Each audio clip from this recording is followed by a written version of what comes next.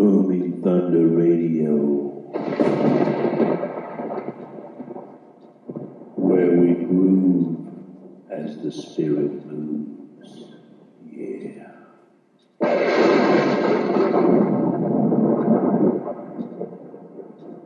Drawing the honey from the rock with the righteous Reverend Doctor on Booming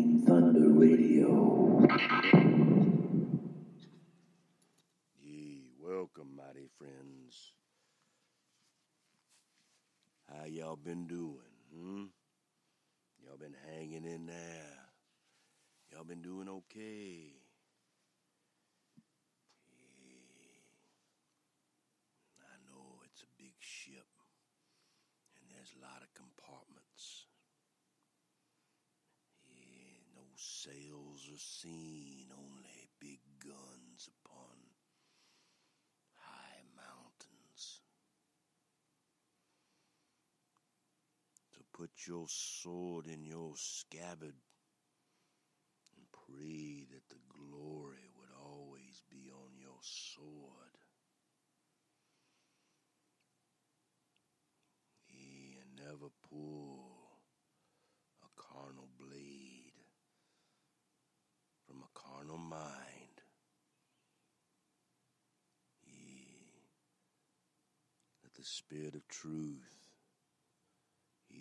be upon your heart. Be in your tabernacle forever. Ye and hold the right hand inside that hidden right hand of everlasting, the everlasting glory of mighty Yahushua HaMashiach.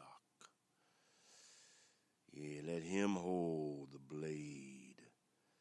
Yea, let that one with the sharp double-edged sword speak and slay the wicked and bring forth the archers at his side ye all of our sides as we discover the birthing of Yahushua this day. His father, his father was named Joseph. He, like one of the sons, he, Joseph was the eleventh son of Jacob.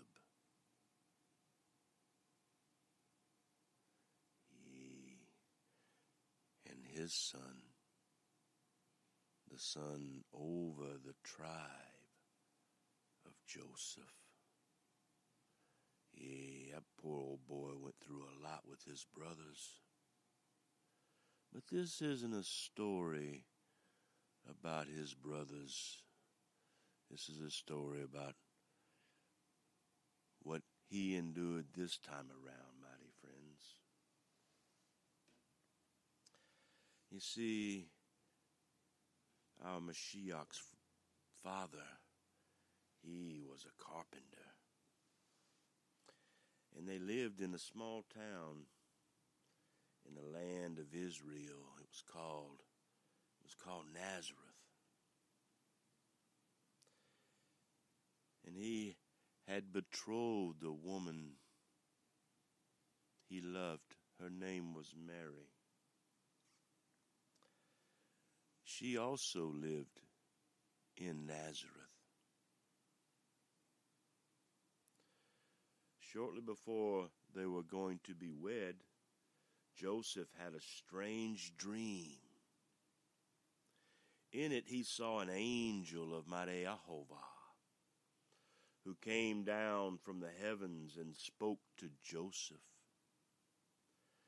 The angel, the angel of mighty Jehovah, yea, the spirit of truth, yea, in this heart, told him that after his marriage, Mary would have a son sent by the Spirit of truth, yea, the Father Himself. to save his people from their sins. Yea, You are unable to save yourself. There is only one that can purge the wickedness in your heart. Yea, the everlasting glory must be placed within it. Yea, like the womb of a woman wanting to birth the Son of Mary.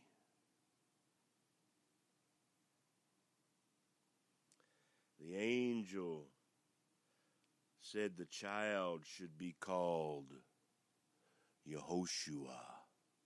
Yea, Jehovah saves.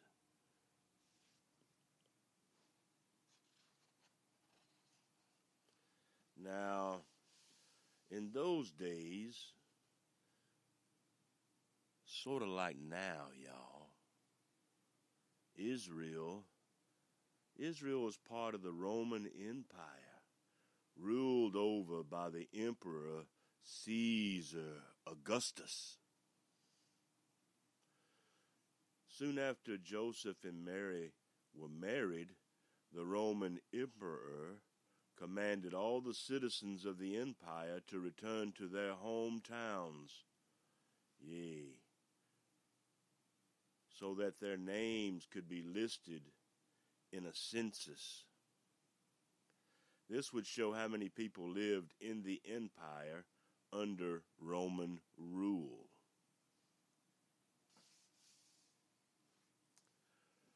Both Joseph and Mary were descended from the family of King David. Did you know that? So they returned to their hometown in Bethlehem. King David's birthplace.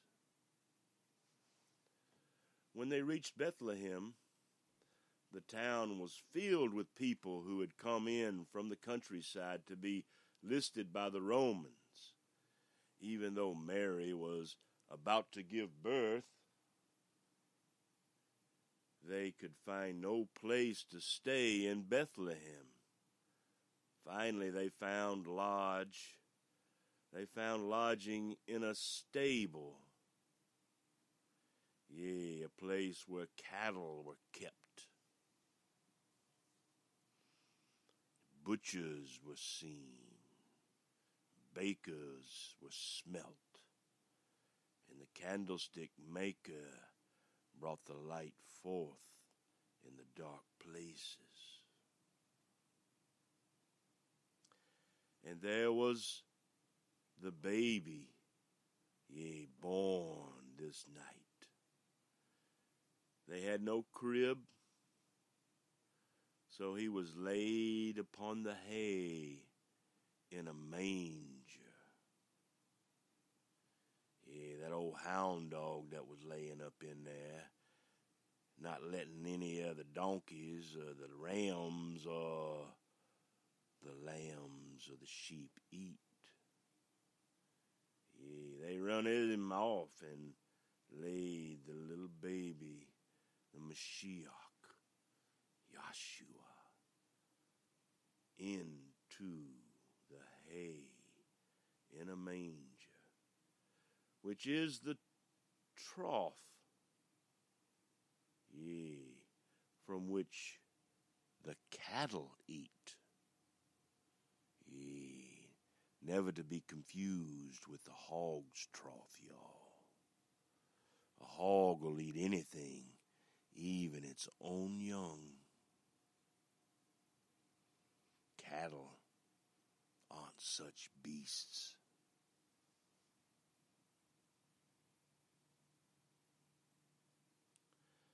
On the night of the baby's birth, some shepherds were tending their sheep in the field near Bethlehem. Suddenly a great light shone upon them, and an angel of Jehovah appeared. They were frightened by the vision, but the angel said to them, Be not afraid, for behold, I bring you news of great joy, which shall be to all the people. For there is born to you this day in Bethlehem, the city of David, a Savior who is the anointed Son of Mariahovah, our God. They were frightened by the vision, but the angel comforted them and said, Be not afraid, for behold, I bring you news of great joy. Yea, great joy. Are you ready to receive it? Yea, are all the people ready to receive the glory? Yea, a little mustard seed in their heart?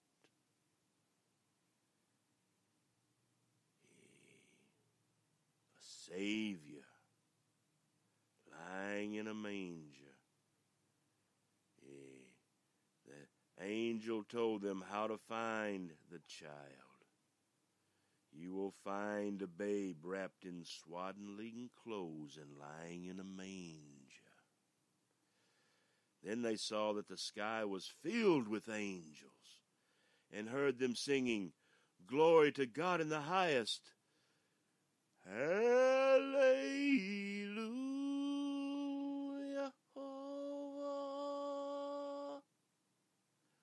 Hallelujah. Yehoshua, our King. Hallelujah. Hallelujah, mighty one. Then the angels after saying peace and goodwill toward men, the angels disappeared. The shepherds immediately set out for the town. When they found Mary and Joseph with the babe, ye lying, a baby laying in a manger, not a babe lying in a manger.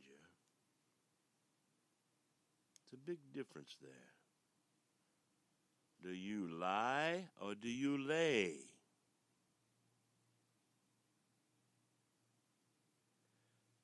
They repeated the message they had heard. Everyone was amazed. Mary, who had also been told by God of the great mission of her son, said nothing but she thought deeply about these strange and wonderful happenings.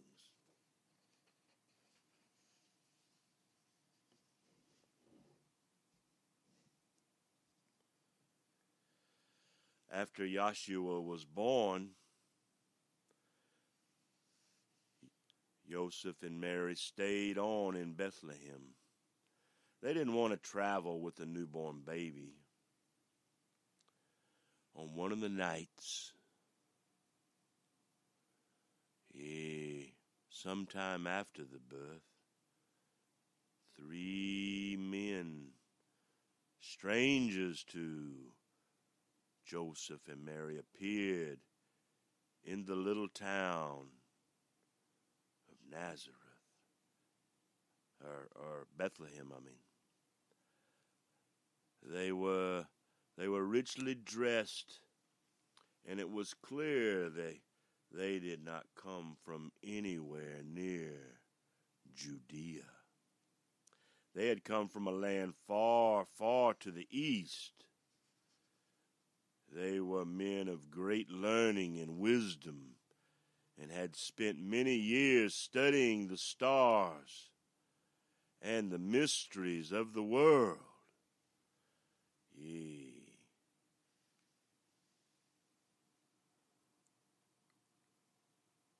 men who studied, yea, their fathers with Daniel.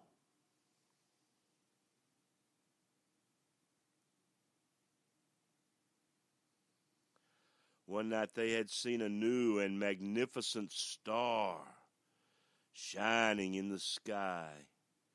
They knew what it meant. Do you know what it means? Do you know what it meant? That a great king was born in the world, and that the star would lead them to the newborn king. The wise men, yea, the three wise men searching for the everlasting glory, decided to follow the star so they might see this king and learn what he meant to the world. Their journey was long and hard. At last they came to the land of Judea. Thinking that everyone in the land would know of the new king, they asked, Where is he that is born the king of the Jews? In the east we have seen his star, and we have come to worship him. But no one, no one they met, no one had heard anything about a new king. Hmm. How could that possibly be? They knew only that Herod still ruled the land under the Roman governor. Word came to Herod that these three impressive visitors were asking about a new king. He was worried, for he knew that he was not popular with his people. He called the priests and scribes, the men who studied and taught the things that were predicted in the Bible, and asked them what the prophets had predicted about a new king coming to Israel. They told Herod that it was predicted that out of Bethlehem in the land of Yehuda, yea, Judah, shall come forth one who shall rule Jehovah's people. Herod was frightened. He called for the three wise men and told them to find the child so that he might also come and worship him. But of course, Herod was lying. He wanted to find the baby in order to destroy him. The wise men set out and soon found the star again, shining high in the heavens above the road to Bethlehem.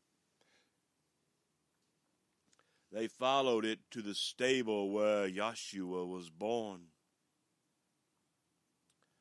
When they saw the child, they knew at once that this was the one they had sought.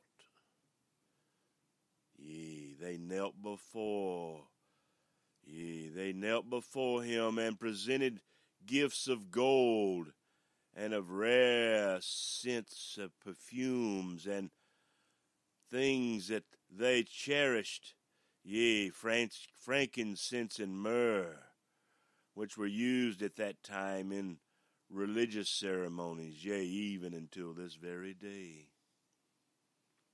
You see, that same night God warned the wise men in a dream not to return to Herod, but to go back to their own land by a different road Thus Herod did not find out where Yeshua was. The coming of the anointed Son had long been predicted among the Jews, but they believed he would be the Savior only of his own nation. The three wise men were the first men outside of Israel to know that Yeshua had come ye for all men that these men can save their sons, daughters, and wives, can give them a joyful heart forever. You see, the coming of the anointed Son, that long predicted, yea, moment by the Jewish ye the lovers of truth, ye not those bound in the synagogue of Satan, those that ye have the locks on their temple. Yea, their temple doors locked forever. They may never know the Mashiach, for their fathers have inherited things from men and teach words of truth of men. And let not the spirit of truth bring forth the manna in the living word, yea, in the fourth watch every day.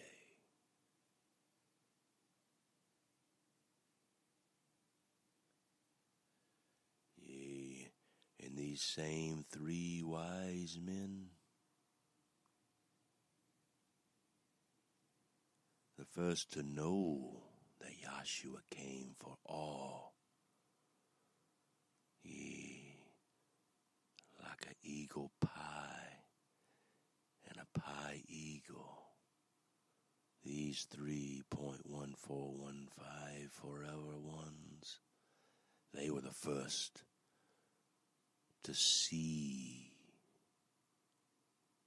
him to say,